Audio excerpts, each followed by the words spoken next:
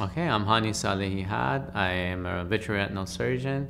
I practice currently in Huntington Beach and Torrance area. Um, I've been in the area for about 10 years plus. Um, I studied at uh, Berkeley for undergrad, go Bears, and then went to Boston uh, for ophthalmology uh, at Harvard. Uh, I spent three years of cold in the East Coast, and uh, but it was really fun still and very good education. Then I came to USC for my fellowship training in vitreoretinal surgery at the Big County Hospital.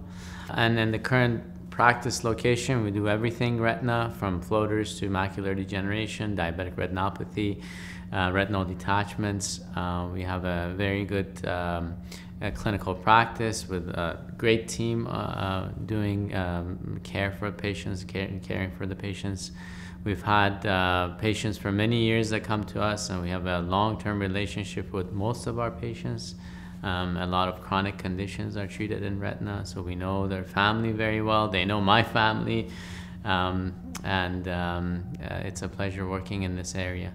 We also do clinical trials at our practice, so uh, it allows us to bring the latest uh, new technologies and new treatments to patients to allow them to have opportunities to get treatments for conditions they could not previously get treated or get better and more advanced therapies that are not currently available. So that's a very exciting part of our practice as well. I chose to um, join NVISION because they have a great group of surgeons in a wide variety of fields. Uh, it's a great family of um, uh, physician providers caring for patients with all kinds of conditions. So it allows me to have colleagues in, uh, that are experts in their various fields um, so that I can have my patients cared for in uh, very good hands with every subspecialty covered.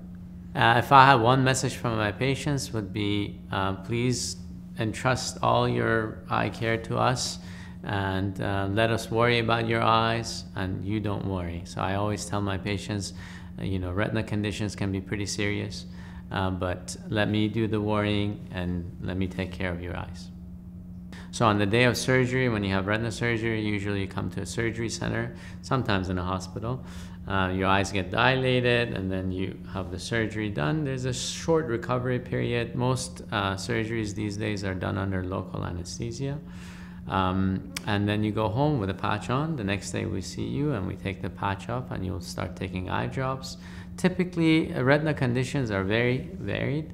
So depending on what kind of eye condition you had when you had your surgery, the visual recovery process takes anywhere from one week to two months.